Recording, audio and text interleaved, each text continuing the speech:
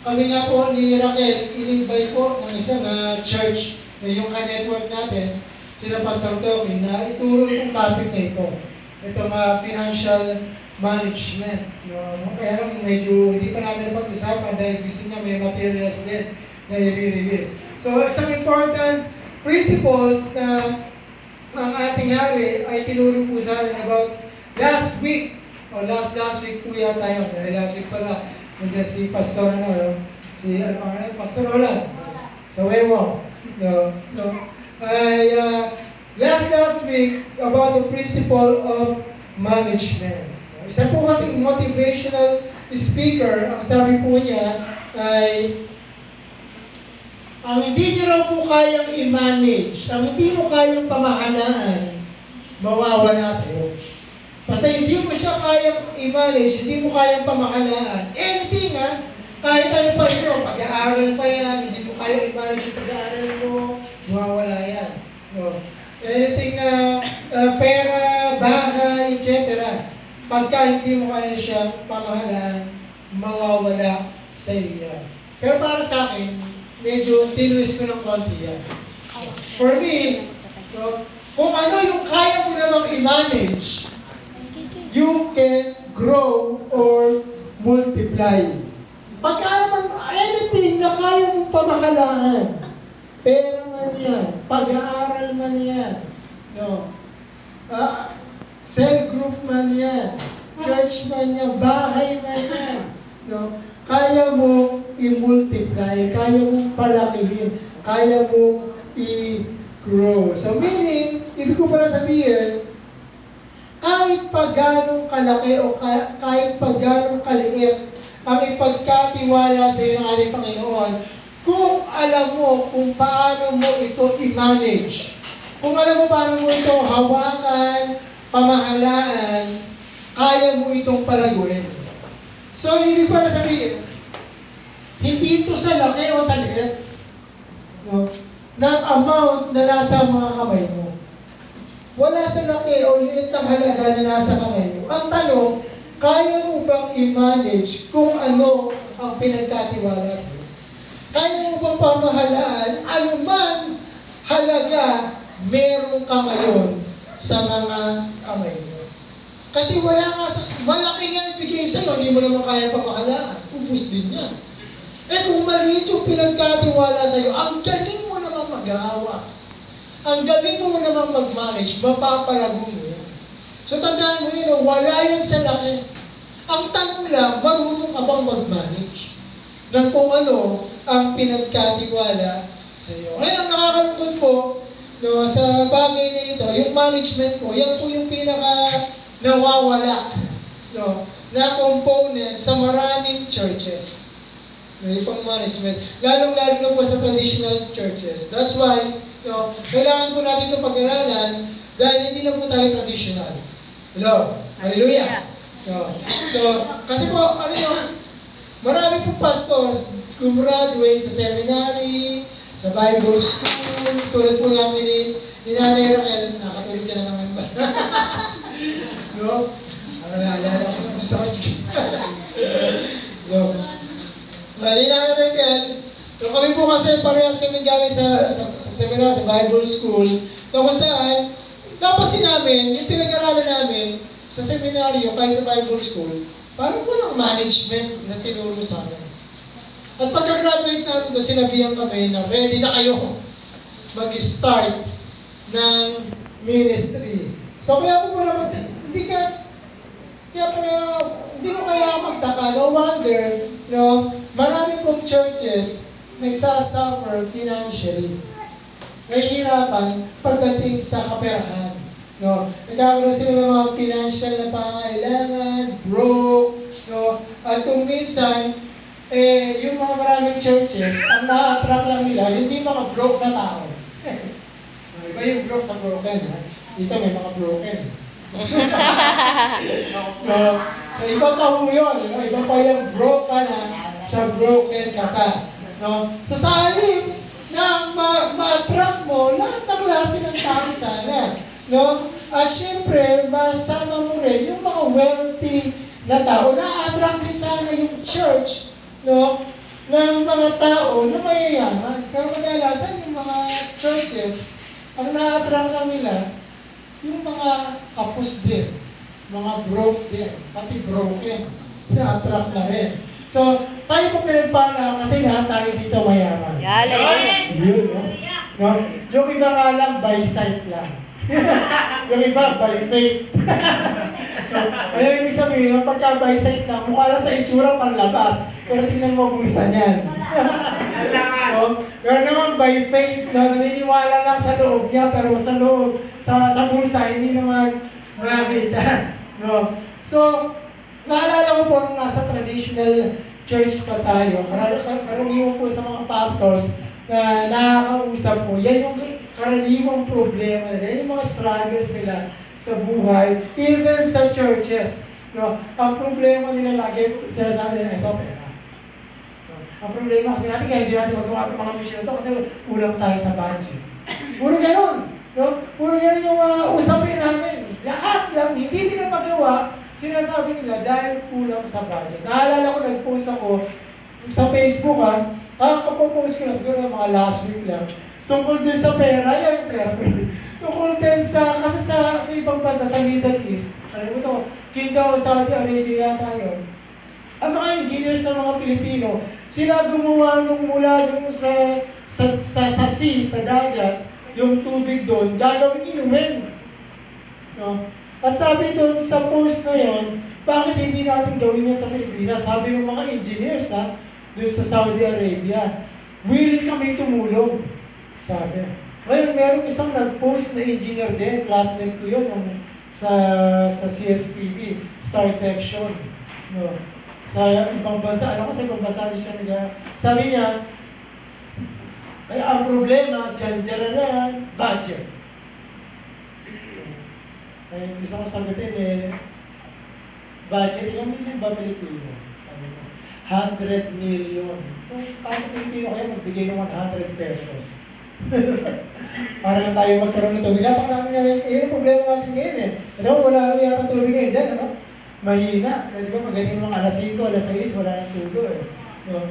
Pero napakadami naman tubig na kapaligid sa atin.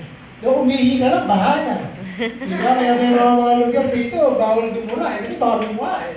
No?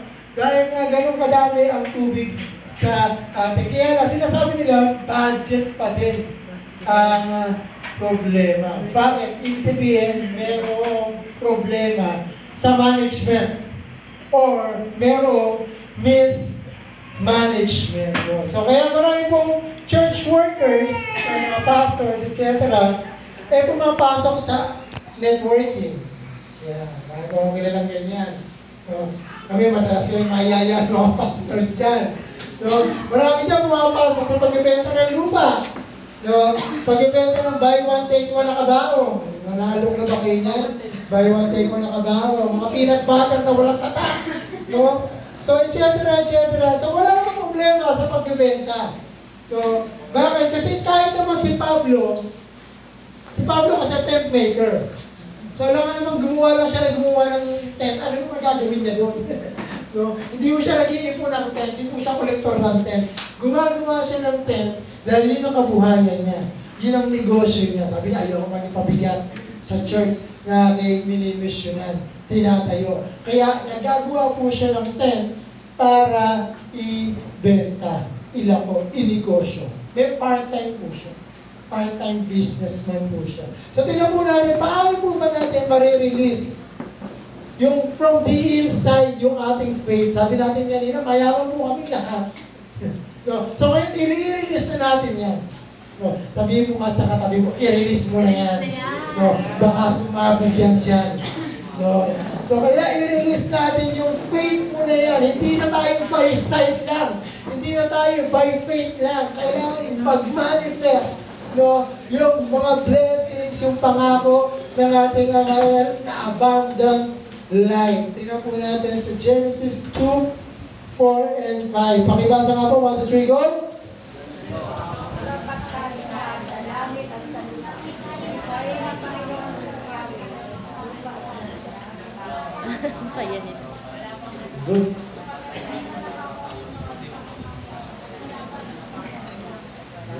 Yes. So, actually, sabi po dyan, yung, siguro maganda dyan yung ver- verse na rin, no? Paparehas na siguro. Gari, ganito ang pagkaki, pagkalikha sa langit, no? sa lupa. Nang likha niyo ng Panginoon Yahweh ang lupa at lahat ng bagay sa langit, wala pa raw ano, wala pang halaman, ano? Ganyan ang itsura, mo yung itsura, nasagwa pala, no? Kung ang mundo, ganyan. No? Walang, walang, walang halaman, walang damo, walang kakita. No? Kundi puro bato, puro kalupaan. So sabi po dyan, wala daw pong halaman pa na nalilikha yung ating Ama sa langit. Bakit po? No? Kasi, dalawang dahilan. Una, sabi po niya ron, hindi pa kasi siya nagpapadala ng ulan sa kalupaan, sa mundo. So, although, meron na po mga bukal nun. Sabi po din sa verse 6. Pag tinuloy mo kasi yung verse na yan, sabi po doon, may mga bukal na. No, hindi po itong ulo ko. Ano? Huwag niyo tanongin sa ulo. Iba po yan. Bukal lang sinasabi natin. So, it springs on earth, ayon po doon sa verse 6. Pero bakit nga ba? Walang ulan. At wala ring halaman. Kasi, wala pa raw pong tao na magtitil, magsasaka, mamamahala, magwo-work doon sa kalupaan. Sabi, hindi mo, hindi mo pag magpapatubo ng halaman dyan. Hindi mo magpapadala ng ulan. Bakit? Eh, wala naman tao eh. Eh, sino mamamahala sa ipagkakatiwala ko sa kanila? So, ibig ko sabihin, itong verse na ito, patungkol to sa'yo Yun. at sa mundo.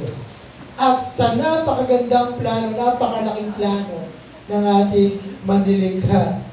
So, sa atin at sa sanlibutan mo sa mundo. So, ang ating mga ama, imagine mo, nilikha niya po yung heavens and the earth.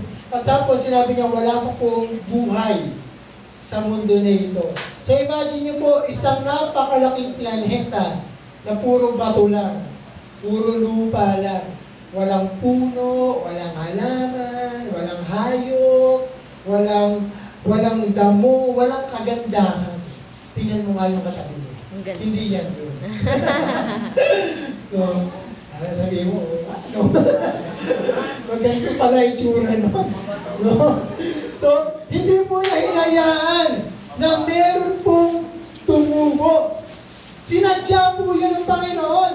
No, na wala po talaga siyang mapatubo. No, hindi po niya talaga ah, hinayaan na umulan. No, na magpabagsak ng ulan. Bakit po? Yun po ay kanyang sinadya para yun ang kanyang motivation para lumikha po siya ng tao na tulad ng katabi mo. Yun.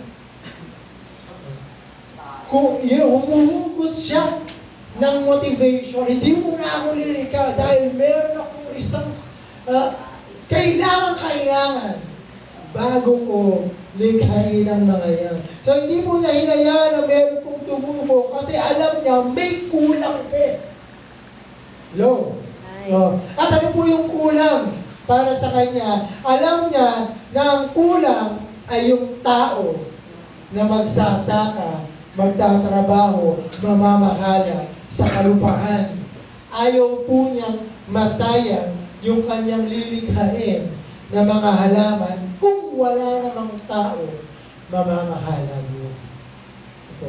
So, now, kaya po ah, yung po kasing salitang work, no, galing po yan sa salitang uh, eragon. Nang ibig ko pala sabihin is management, hindi lang basta trabaho. Maraming si tao, trabaho lang trabaho, pero hindi niya alam kung paano i-manage yung pinagtatrabahuhan niya. No? Kaya mas maganda na kaya ka nagtatrabaho is because you are managing no po, yung, yung pinagtatrabahuhan.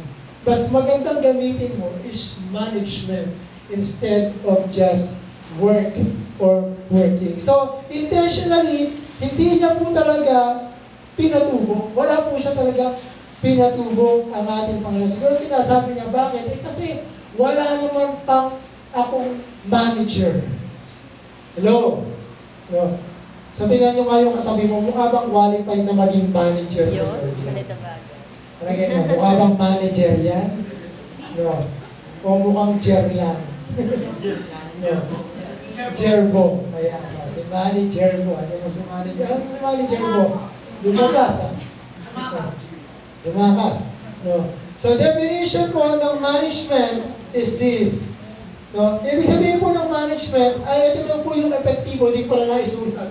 No? Ito daw po yung epektibo, episyente, tama, at napapanahon na paggamit no, doon sa property ng isang may na pagmamayari no, at resources na pinagkatiwala sa isang tao para ito ay makaproduce ng inaasahang added value pabalik doon sa totoong may-ari.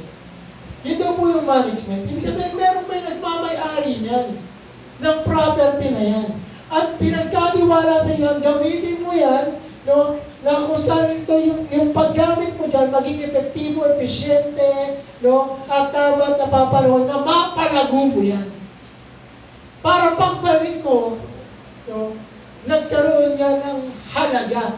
Higit sa pinagkatiwala mo sa iyo yan, dyan, noong una. Hello? Hi. So tingnan mo kayong katabi mo, mukha bang nadagdagan ng value yan? Yun. No. Mukha bang nag-improve yan?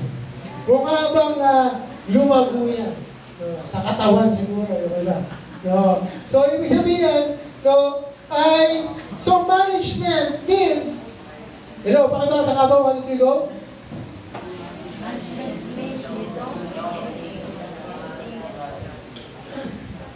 Yun.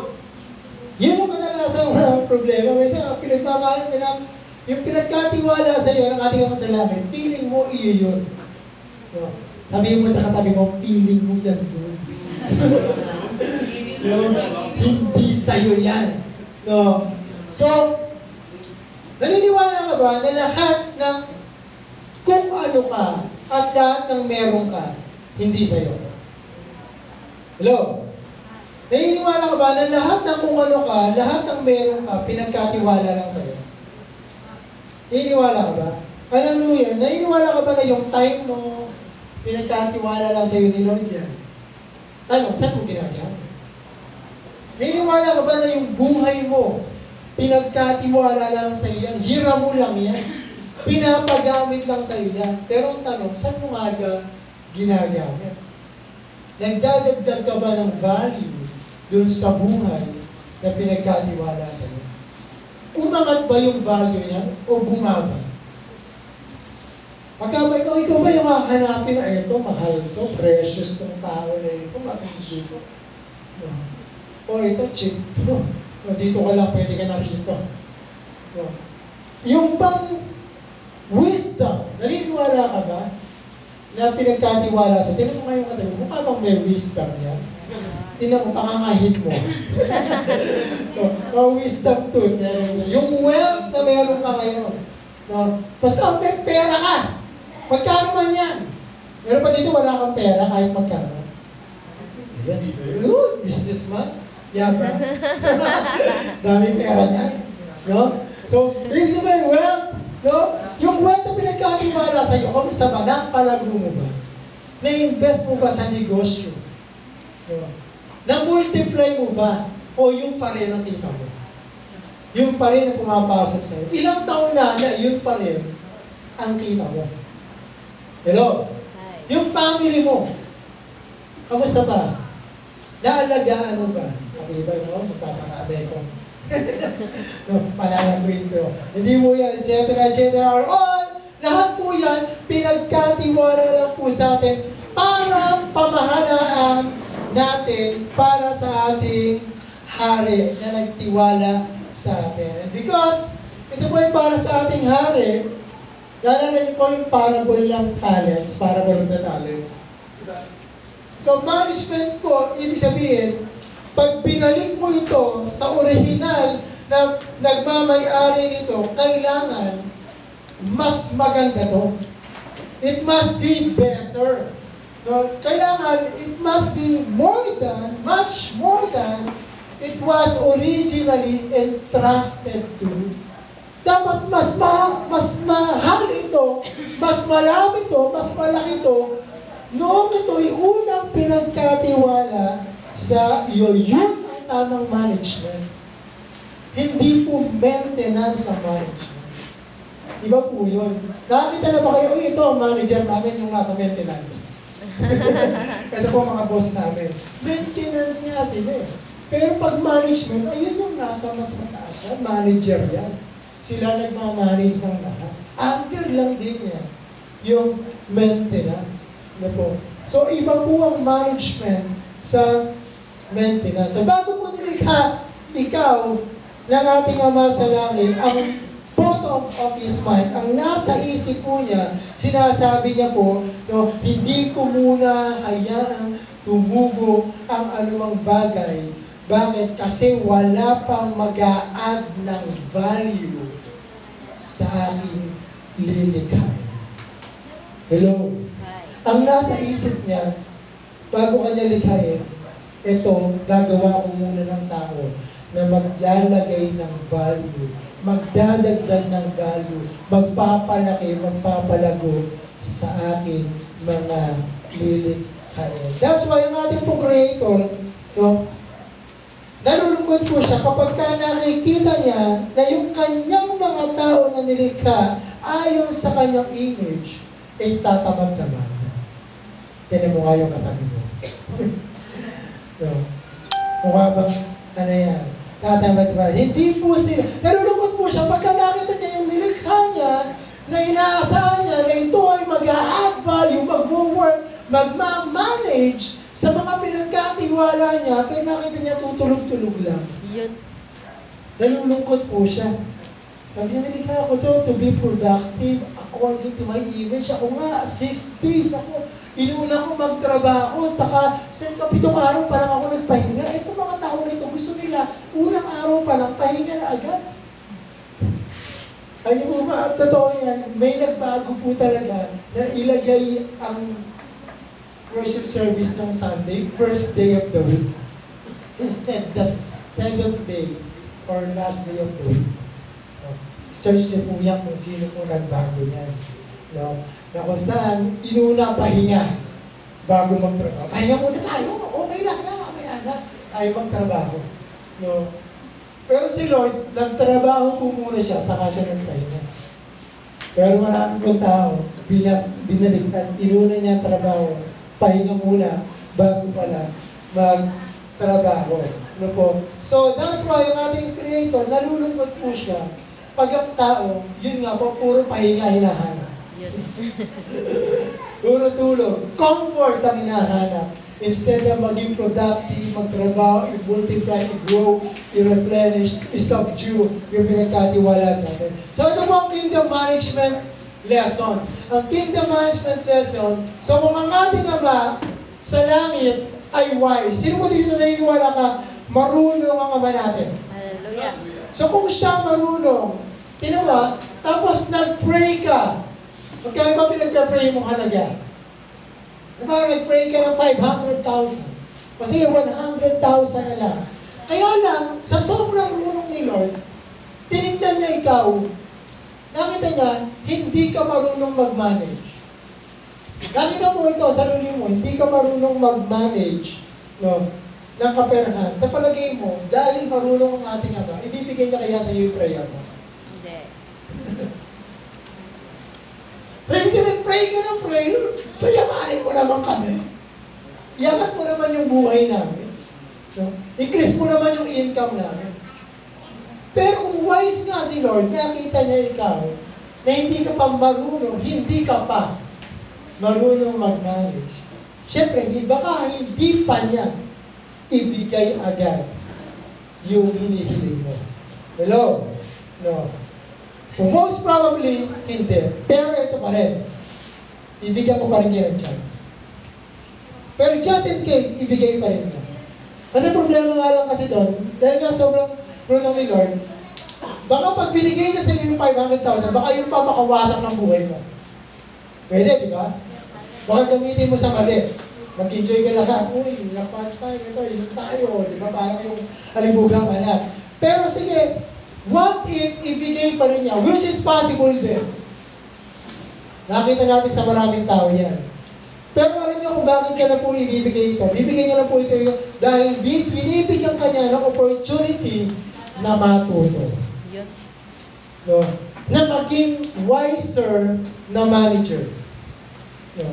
Na kung saan gusto niya, sige, ma-experience mo ang mismanagement.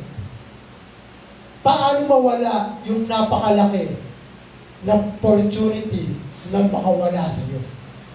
Marami pong gano'n. Diba? So, binibigyan ka lang niya ng wisdom na matutunan ano ba ang mismanagement at yung impact nito sa ating buhay. Ano Po. At kapag ka po natutunan mo yun, yun nga lang, sayang, ano? So, nandiyan na yung opportunity. Pero pag natutunan mo naman yun about proper management, ngayon, yung little, yung maliit na meron ka ngayon, kaya mo nang talagawin. Yun. Hello? No. So, kaya mo na itong i-grow, i-multiply, even beyond sa hinihingi mo. Even beyond sa 500,000 na hinihingi mo. Even beyond sa 100,000 na hinihingi mo. Bakit? Kasi natuto ka ng mag-manage. Hello? No. So, sabihin mo sa katabi mo, manager. Hello? Sabihin mo sa katabi mo, manager. No. I-apply mo kasi natutunan mo. No? At palaguin mo kung ano meron ka ngayon. Hello? Natingin mo, kaya mo bang palaguin kung ano magkano hawak mo? Yun ang management. So tandaan po natin na yung management, ibig sabihin, hindi ikaw ang nagmamay-ari ng pinagkakatiwala sa iyo. Tandaan niyo po lagi yan. Sabihin mo sa katabi mo, hindi ikaw ang may-ari. No. Tandaan po natin. Yung kasi lagi nakakalimutan natin eh. No. So, at to test, para po masubok ang iyong pagkaunawa sa management no, ng mga bagay na hindi ikaw ang nagmamay-ari, ang gagawin ngayon ng may-ari, hihiling siya. Hello? Ay. Listen, listen. Listen, listen. Listen po, pakinggan mo natin. Di ba, hindi ikaw ang may-ari ng lahat ng meron ka ngayon. Yan ang management. At para ma-test ang pagkaunawa sa iyo sa management, ang gagawin ng may-ari talaga, hihingi siya ng maliit na bahagi lang ng pinagkatiwala niya sa iyo. Kasi bibigay ko sa iyo sa iyo. Titignan ko nga kung naiintindihan mo yung management na hindi talaga sa iyo.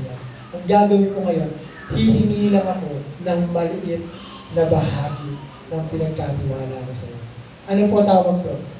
Hihingi lang siya. Sige, subukan ko nga, pwede ko bang kunin yung 10% ng pinagkatiwala ko sa iyo? Naintindihan mo ba yung management? Alam mo bang hindi sa iyo yan? O sige nga, bigay mo nga yung 10% lang ng pera ko. Kasi bigay mo nga yung 10% lang ng oras mo.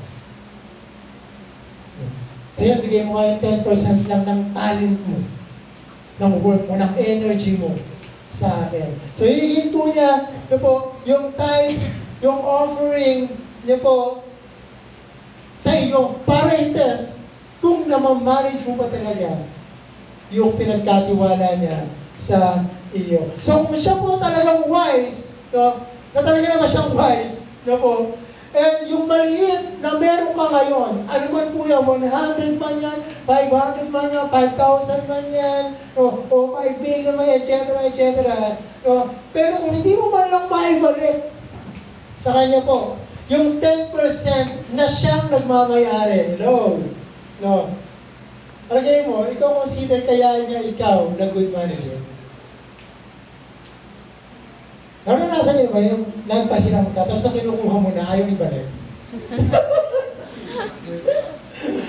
ano palagay mo, pa, pahihiramin mo ba ulit yun?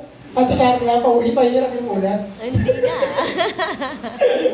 No? Naalala ko yung mga post ni Ate Carla. No? Ayun, Ate Carla, replay. No? So always remember, yun nga, you know? So ibig sabihin talagang, ano eh, yun yung management eh. Titignan niya, tinetest ka, hindi mo alam, tinetest ka lang ni Lord. Is yun yung hindi sa'yo, hindi mo maibalik. Yung pa kayong ibibigay na yung para sa'yo, paano ka ba niya mapagkakatiwala? Di ba kaya nga po merong Lucas, ayan, 16, 9 to 12. Pakibasa nga po, 1, 2, 3, go.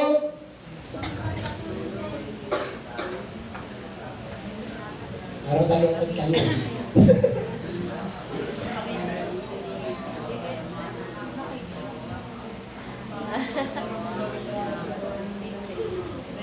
Yun. So, verse, ah, ako na siguro. At nagpatuloy si Jesus sa pagkasalita kaya sinabi ko, sinasabi ko sa inyo, gamitin ninyo ang kayamanan ng mundo ito sa paggawa ng mabuti sa inyong mga kapwa. Upang kung maubos na iyon, ayan, maubos na nga eh, ay tanggapin naman kayo sa tahanan walang hanggan. Ang mapagkakatiwalaan sa maliit na bagay ay mapagkakatiwalaan din sa malaki. So huwag mo sabihin may ma- maliit lang ang halaga na meron ka pinagkatiwala pa rin sa iyan to manage them. At mapagkakatiwalaan din sa malaking bagay. Ang mandaraya sa maliit na bagay ay mandaraya din sa malaking bagay. Anything ha? Hello? Kaya kung hindi kayo mapagkakatiwala sa mga kayamanan ng mundong ito, sino magtitiwala sa inyo ng tunay na kayamanan? At kung hindi kayo mapagkakatiwala sa kayamanan ng iba, hello? Sino magbibigay sa inyo ng talagang para sa inyo. So, yung, ano man yung pinagpe-pray mo, anything na pinagpe-pray mo, ito man ay mas malaking church building, gusto mo marami kang kaluluwa na i-disciple, mas malaking bahay, gusto mo marami, malaking bahay, mas, malang, mas maraming pera, etc., etc. Ang gawin niyo po, bumalik ka, no, look back first, no, doon sa pinagkatiwala sa'yo, kung ano meron ka muna ngayon. No po? Tapos, tingnan mo sa kung ano meron ka ngayon sa pinagkatiwala sa iyo. No? Halimbawa, yung building no, na pinagkatiwala sa iyo, kamusta ba? Napapamahalaan ba na maayos? No, yung church building, yung bang kaluluwa na napagkatiwala sa iyo, ilan man mo yun? No, isa man yan, kamusta ba? Napalago mo ba yun? No, yung bakay na pinagkatiwas, pinagkatiwala sa iyo ngayon, nalilinis mo ba? Naayos mo ba? Meron bang kaayusan? So, paano ka pabibigyan ng mas malaki? Kung yun nga, yung pera na meron ka ngayon, na-multiply mo ba? Nag-grow mo ba? Kamusta ba yung management mo doon? O binaldas mo lang? Binili mo lang, binili lang kung ano-ano. No. Lalo na po ngayong ah, holiday season. No. So, ibig sabihin, tingnan mo, ano ba yung natutunan mo? Kaya si, si Lord nakatingin sa ganun, meron pa siyang natutunan. Marunong na kaya siya mag-manage. Pero pag nakita niya, uy, natuto na, uy, nagsesave na, uy, nililinis yung bahay, uy, inaayos yung bahay, pwede nang bigyan ng mas malaking bahay ko. No. Mapagkakatiwalaan na to. No. So, tingnan mo yung mga mistakes mo sa pag-mismanage mo doon sa mga unang pinagkatiwala sa iyo. Ano ba yung kailangan mong baguhin? Ano ba yung kailangan mong i-improve? Ano ba yung kailangan mong palaguin? I-multiply? No? What was entrusted o pinagkatiwala o pinamamahala sa iyo ng ating Ama sa langit para ikaw ay maging good and faithful manager or servant na mapagkakatiwalaan hindi lang ng maliit na church, hindi lang ng makokonte na disciples, hindi lang ng maliit na bahay, hindi lang ng maliit na halaga ng pera, no, kundi mega church kundi 1728 na disciples, kundi mas malaking bahay, mas malaking pera. Hallelujah! Ano po, kasabihin mo sa katabi mo, ako ang pinag-uusapan dito. Hello? So, ngayon pong holiday season, no, yung pong yung management skills, lalo na po sa paghawak ng pera, masusubok po kayo yan. Matetest po kayo yan. Lalo na kung nakatanggap ka ng 13 month pay, no, pero pa rito, eh, yung 13 month pay mo ba na, itabi mo na ba yung 10% ni Lord? no, yung ah, Christmas bonus, etc. etc. No, so, tandaan mo, sabihin mo sa katabi mo, hindi sa'yo yan. no. So, how much more? Ito po. So, itetest po yan, gaano ba kalaki o kaliit ang gagastusin mo sa hawak mo ngayong holiday season? Sa tingin mo. And then, itetest din yan, gaano kaya kalaki, kaliit, ang ibabalik mo kay Lord sa hawak mo this holiday season. Itetest din po yan, gaano kaya ang isa-save mo, iipunin mo sa hawak mo ngayon this holiday season. At itetest din dyan, gaano kaya kalaki o kaliit ang i-invest mo para mapalago mo, ma-multiply mo kung ano ang pinagkatiwala sa iyo this holiday season. Planuhin mo na. No? Sabihin mo sa katabi mo, now you know. Alam mo na ang gagawin mo. No? Alam mo na ba? Hello, alam mo na ba? So, alam niyo po ba kung bakit si Haring Solomon, Nahino, alam niyo ba na si Haring Solomon pinakamayaman na hari sa buong mundo?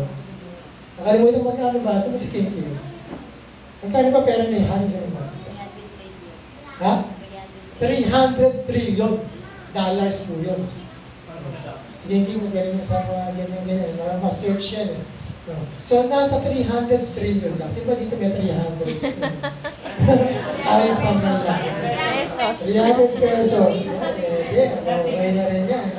So, alam niyo po ba, bakit siya nagkaroon ng 300 trillion dollar? Bakit po siya naging pinakamayaman, pinakasikat na hari sa panahon niya? At kahit naman hanggang ngayon, wala pa rin pong bumigit sa kanya. No po, bakit siya nakapagpagawa ng napakalaki, napakagandang templo ng ating Panginoon? And then, saka po siya naggawa ng kanyang palasyo. Alam niyo po ba na inuna niya ang templo bago palasyo niya? Yun. Nakita ko yan eh. Tinignan ko yung chapter-chapter. Nakita ko inuna pala ang templo. Saka lang siya napagawa ng palasyo niya. At hindi. No? At lahat ng accomplishments niya, breakthroughs niya, achievements niya, tagumpay niya, alam mo ba, lahat po na yon, hindi po yon ang pinag-pray niya. Hello, hindi po siya nag-pray na pengi namang, payamanin mo naman ako. Hindi mo siya nag-pray, bigyan niyo naman ako ng malaking palasyo. Bigyan ako ng mega temple. Hindi eh. Hindi po yun ang hiniling ni, ano, ano po ang hiniling ni Solomon? First Kings, pakibasa nga ba? 1, 2, 3, go!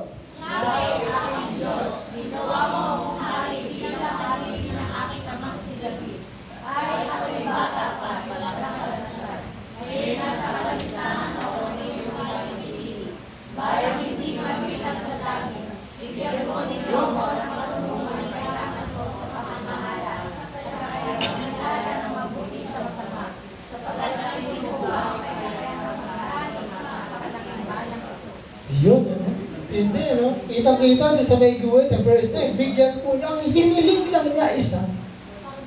Karunungan saan? Sa pamamahala. Give me wisdom in management. No? Para sa ganun, yun yung hiniling niya. Hindi mo siya hiniling ng wealth, ng mas malaking templo, ng malaking palasyo. No? Ang hiniling lang po niya, wisdom to manage yung ipagkakatiwala, yung pinagkatiwala sa Kanya ng ating Panginoon. At mula po dun sa wisdom na yon, sa management na yon, naging siya po pinakamayamang hari no, na sa sa napakarami pong regalong binigay sa kanya ng iba't ibang kaharian. Dahil sa kanyang wisdom no, nakapagpatayo po siya ng napakaganda at napakalaking templo no, para sa ating Ama. And later, saka lang po niya ginawa, no, tinayo yung kanyang napakagandang palasyo para sa kanya. Gusto ko i-close tong verse na ito sa Santiago 1, 5 to 7. Pakibasa nga po, 1, 2, 3, go.